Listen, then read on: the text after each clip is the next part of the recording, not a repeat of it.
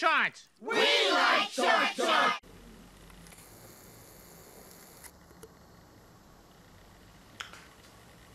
Vinnie Jones used to play Kickoff 2 on an Amiga 500, which is back in uh, 1992. Ah, come on, Mad Commodore, you're talking bollocks, mate. What do you know about anything? Ah, apparently, Vinny is well chuffed with the machine, aka A500, which he has set up in his kitchen. Told you you need a dining table to use uh, an Amiga 500 and monitor.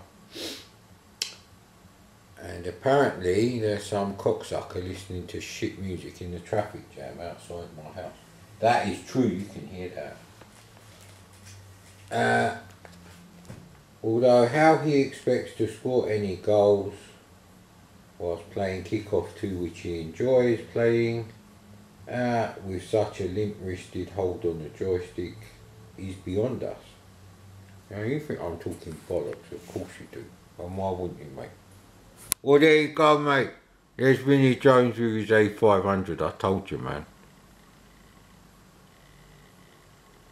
Well, it would help if it went in focus, just for a little bit. There we go. Vinnie Jones. You know, the guy who beat the shit out of you if you say uh, the Amiga's shit.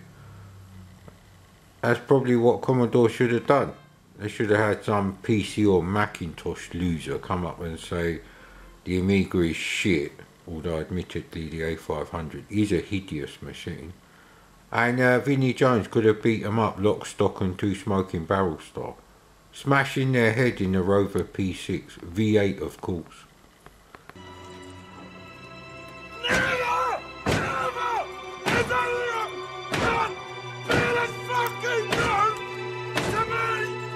Ah well. Ever wondered why Nigel Mansell's World Championship by Gremlin on the Amiga is so underwhelming compared to, uh, you know, the Lotus games? Oh, here's why. The person who wrote it had never written a fucking game before in his life. Now, Damien Hibbard who wrote the uh, game engine, who did the coding, has this to say on the subject. I went to university in Newcastle about three years ago and studied computer science. Ah yeah, I'm, I'm sure that's what all the, uh, the best Japanese coders working on the Mega Drive, the SNES and the PC Engine did. They did a computer science degree. Once I'd done that, I began to put together some demos. In fact, I was halfway through doing a demo when I got the job with Gremlin.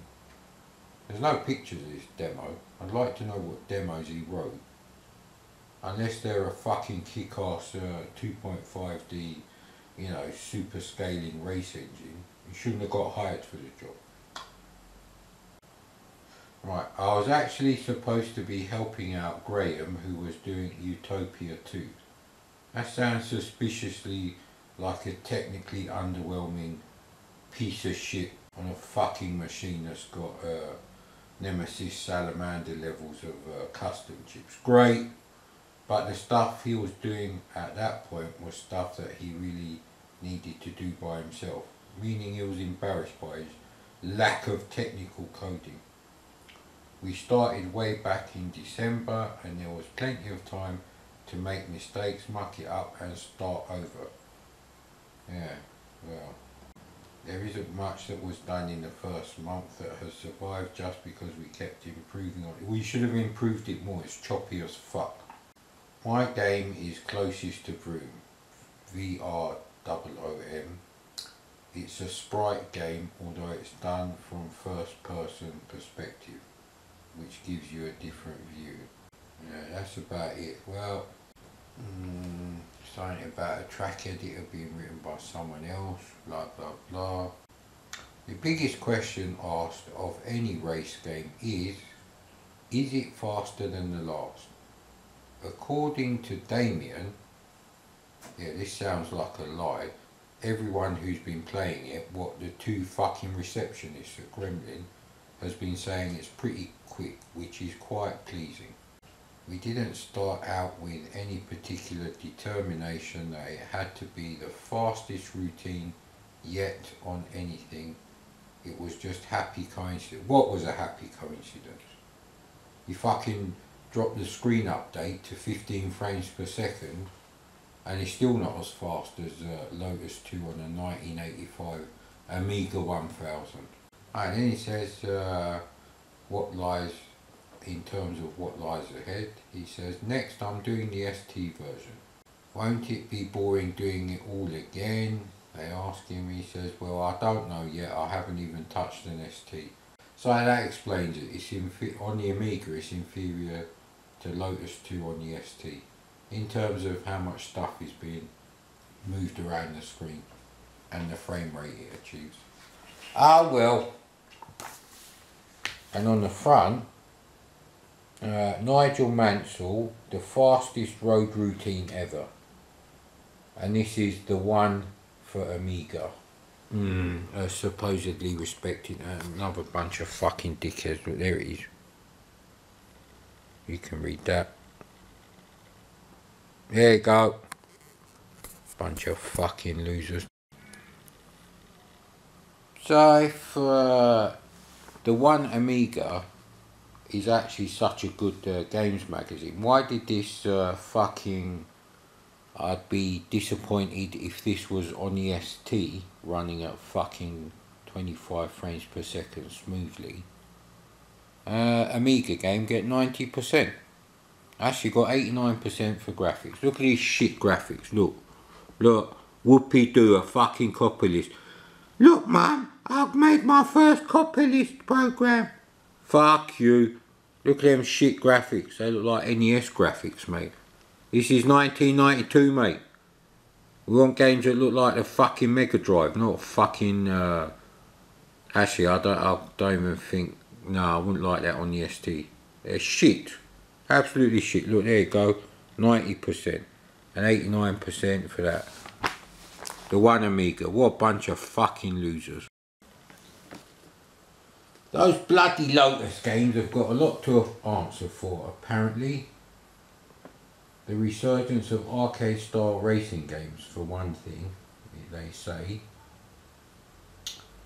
Don't get me wrong, I'm as much a boy racer as the next man, but enough is enough.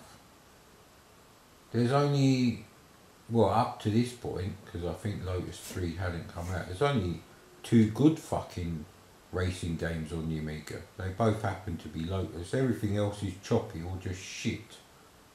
None, none of the others run at arcade fucking, uh, you know, smoothness. It does get very tedious and depressing when you're continually swamped by umpteen unoriginal and generally substandard things. Amiga, are you going to scratch up my Ace magazine yet? I haven't done that one yet. Hmm. Okay, better rush this up. Well, they've given Crazy Cars 3 90% and 83% for the graphics, but 89% for the playability. All the scores are under 90% ranging from 82 to 89 and yet the overall score is 90%. Now actually Crazy Cars 3 is not that bad but to get it as smooth as Lotus 2 on the uh, you know A500 etc I didn't have an Amiga 500 um, you'd have to play it on an Amiga 1200 and the same thing goes for F17 Challenge and Jaguar XJ220 so he starts off moaning. What they should have said was uh, what we need is uh, Shaun Southern to be contracted out to write all the fucking racing games. Yeah. I'm not going to read you the review. Go and buy your own magazine, innit? So apparently there was a game by Thalamus uh, previewed here in the August 1992 edition, I think it is, yes, of uh, the One Amiga Games magazine. And it's called uh, Beastmaster by Thalamus. And it says, with Psygnosis, Psygnosi, two Shadow of the Beast games being such monumental successes, and there's a third on the way as we speak, it seems strange that they haven't inspired more clones. Be, right. After spending a few minutes with Thalamus's latest, however, it becomes apparent that the two games have more in common than the word beast. It may be something to do with the fact that the game's been designed by Wayne Smithson, who had nothing to do with Reflections, who did the uh, Beast games, uh, who produced a string of titles for Psygnosis before moving to Thalamus. It's a scrolling arcade adventure set in a hostile world that has the player, the Beastmaster of the title, on a quest to find the guiding light, whatever that may be. That's actually what it says there. Though on the surface it may look distressingly similar to the Beast games, we're being promised a whole lot more. The player can move into and out of the screen as he battles with his adversaries. There are bundles of fighting moves in brackets, as well as trade with characters and most importantly control members of the animal kingdom he meets on his travels. But it doesn't look anything like Marc Singer in this uh, really badly uh, sized screenshot they've got here.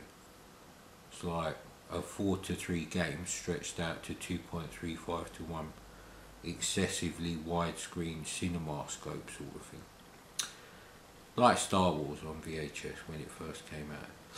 The game's played in accelerated time with day and night sections and the graphics have been provided by veteran computer artist Pete Lyon.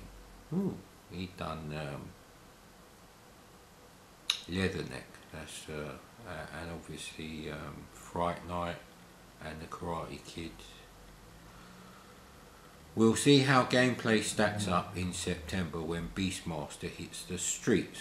I'm going to show you the screenshot here. So there's not much I can do about the fact that some knobhead fucking uh, did this wrong. Look at that, that's obviously the wrong aspect ratio. and uh, this is the August 92 edition of the magazine. So it would have come out in July. So this should have been uh, finished two months later. What the hell happened to Beastmaster Thalamus now, it looks a lot less shit than um, Shadow of the Beast 2 even though they seem to be using a copper list there yeah actually yeah, maybe it will look, would have looked, I don't know, did it even come out? I've never heard of this game. No, we'll have to check that.